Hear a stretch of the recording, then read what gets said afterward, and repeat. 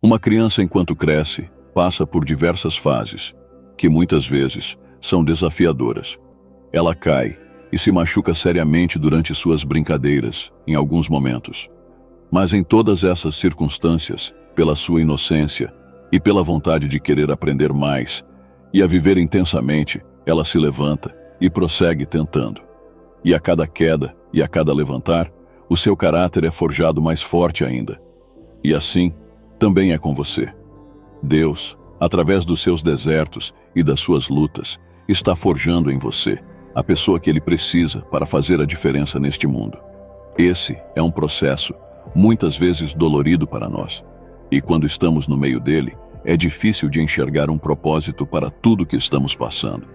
Mas Deus tem planos para a sua vida, que vão muito além do que você pode imaginar.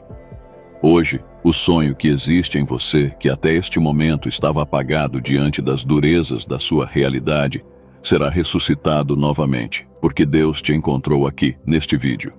Agora você está diante daquele que tem poder e autoridade para trazer à existência o impossível na sua vida.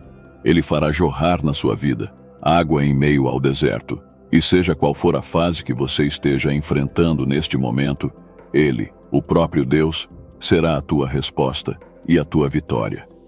Creia com todo o seu coração, porque Deus já se levanta em seu favor. Que Deus te abençoe.